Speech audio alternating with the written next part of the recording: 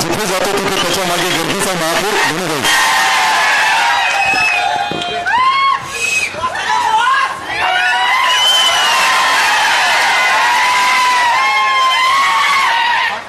बीड लोकसभा मतदारसंघाच्या आपल्या महायुतीच्या उमेदवार माझ्या भगिनी भारतीय जनता पार्टीच्या राष्ट्रीय चिटणीस चालू झालं का? चालू तर होऊ दे इकडे त्याच्या अगोदर चित्र झालं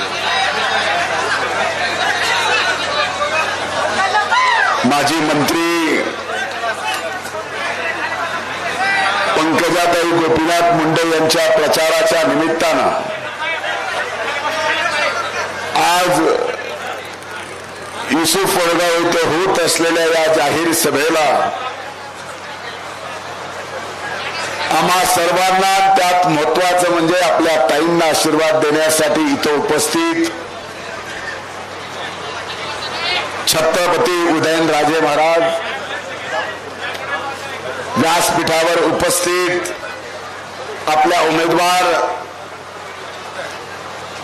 माझ्या भगिनी पंकजा गोपीनाथजी मुंडे माजी मंत्री संभाजी भैया निलंगेकर विद्यमान खासदार प्रीतमताई नमिताताई रमेश रवी अरसकर साहेब व्यासपीठावर उपस्थित सर्व मान्यवर कारण इथून राजांना आपल्याला परडीला जायचं आणि परडीहून परत राजांना साताऱ्याच्या गादीवर परत बसायचं आहे. गादीवर तर पहिल्यापासूनच यावेळेस खासदारकीच्या बसायचा म्हणजे बसलात सन्माननीय व्यासपीठ आजच्या या सभेला इथं उपस्थित बोलू तर द्या.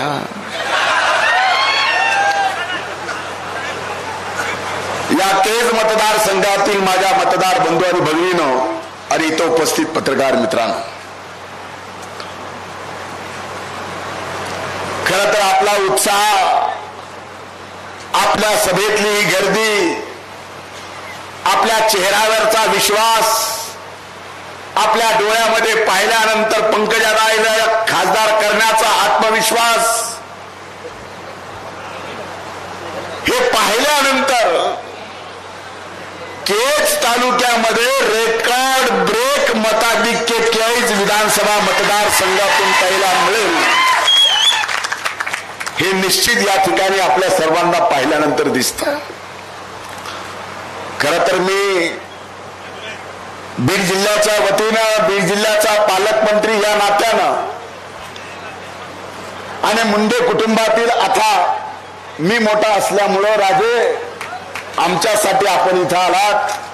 मी आपलं मनापासून या ठिकाणी या बीड जिल्ह्याच्या मातीत बीड जिल्ह्याच्या जनतेच्या वतीनं सुद्धा आणि माझ्या कुटुंबाच्या वतीनं मी आपल्या मनापासून स्वागत करतो.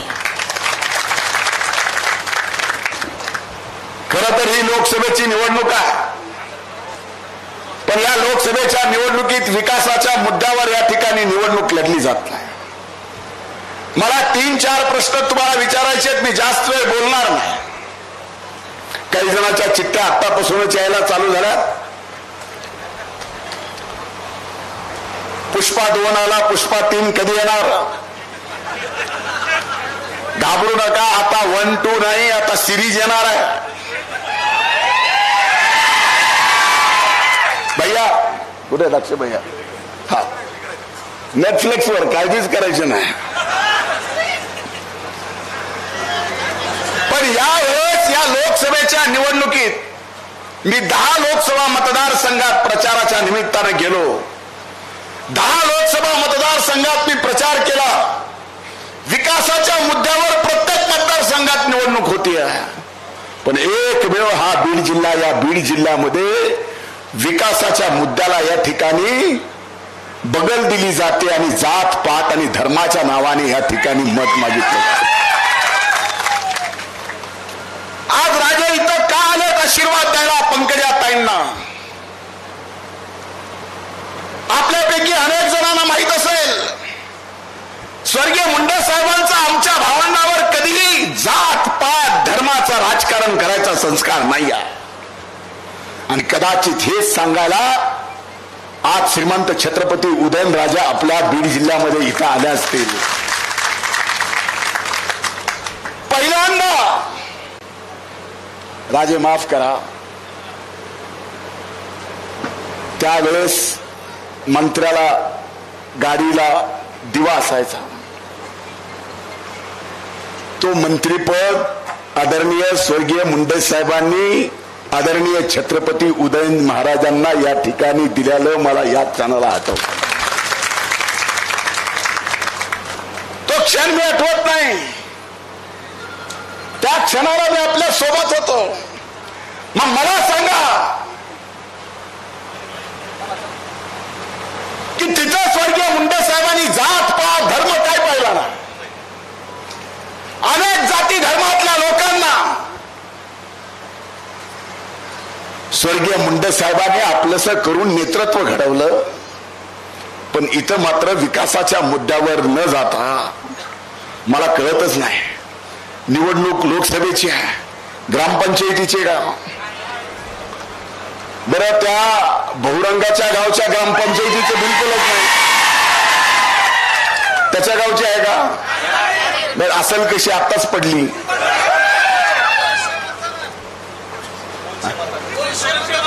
तर किती मतानं पडलं ते बघा. दोनशे मतानं गावात पडला.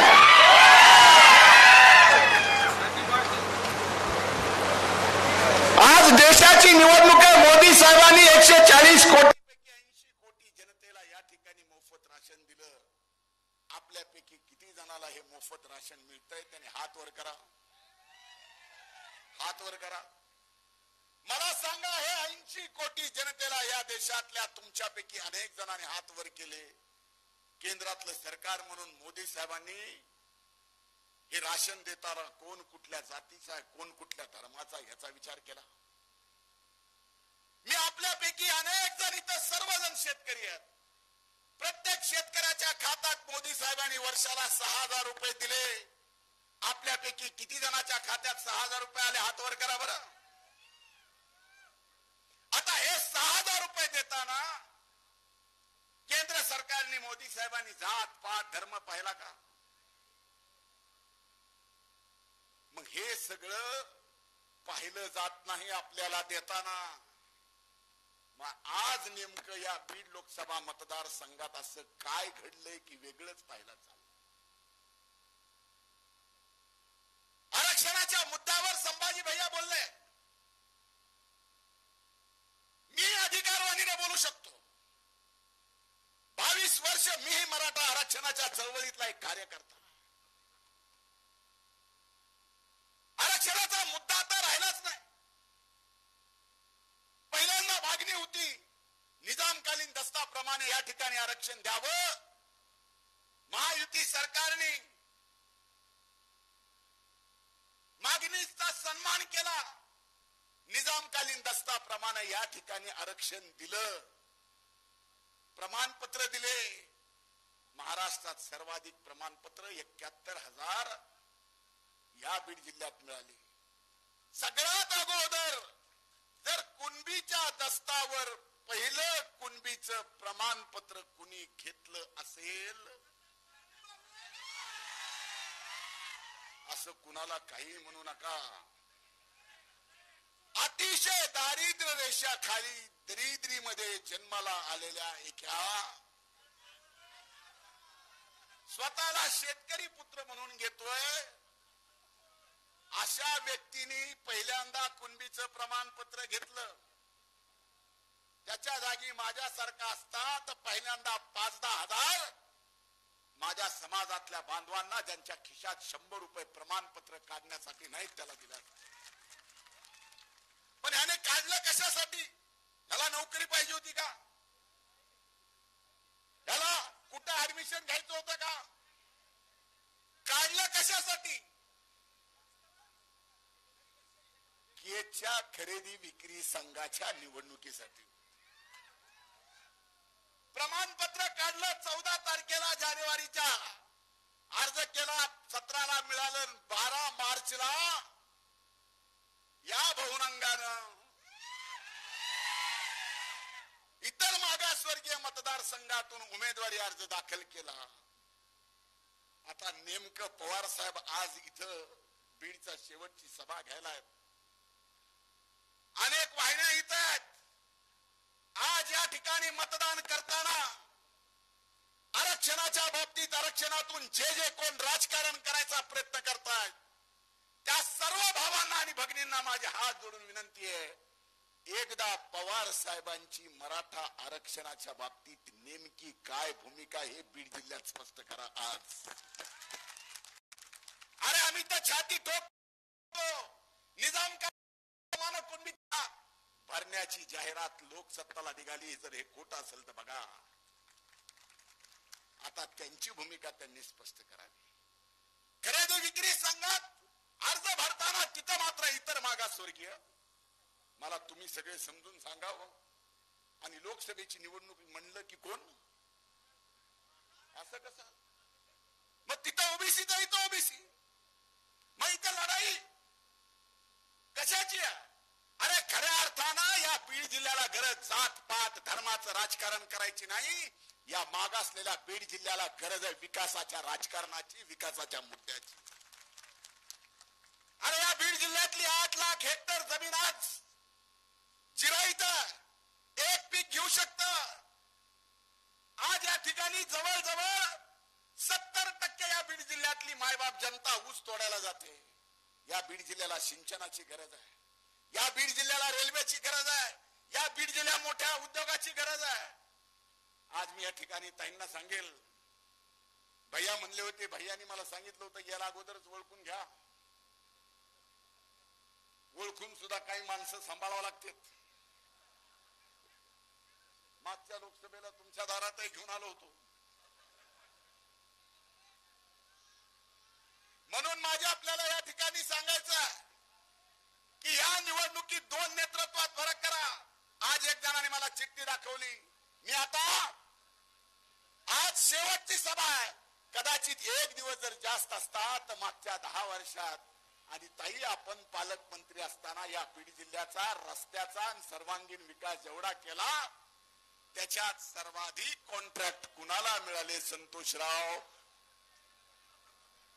आणि ते म्हणते बीड जिल्ह्याचा दहा वर्षात विकासच केला नाही.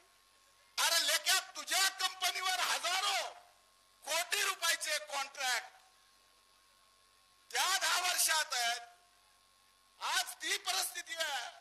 म्हणून आज मी आपल्याला हात जोडून कळकळीची विनंती करतोय आपण सर्वजण छत्रपती उदय महाराजांना ऐकायला या ठिकाणी आलात. पंकजाताईंना आपल्याला ऐकायचं आहे. मी आपल्याला एकच विनंती हात जोडून कळकळीची करतो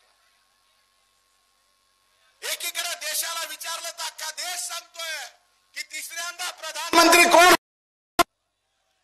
कोण जर तिसऱ्यांदा प्रधानमंत्री मोदी होणार असतील तर आपल्याला सुद्धा मोदी साहेबांच्या पाठीमाग आपल्या ताईला खासदार म्हणून खंबीरपणानं पाठवावं लागेल. आणि आपल्या बीड जिल्ह्याचा विकास काय असतो हे मागासले पण दूर करायचं असेल या जिल्ह्याची ओळख ऊसतोड मजुरांचा जिल्हा म्हणून पुसायची असेल तर आता विकासाचं राजकारण केल्याशिवाय पर्याय नाही. म्हणून हात जोडून माझी विनंती आहे तेरा तारखेला आपली लेख अनुक्रमांक एक पंकजा गोपीनाथ मुंडे चिन्ह कमळ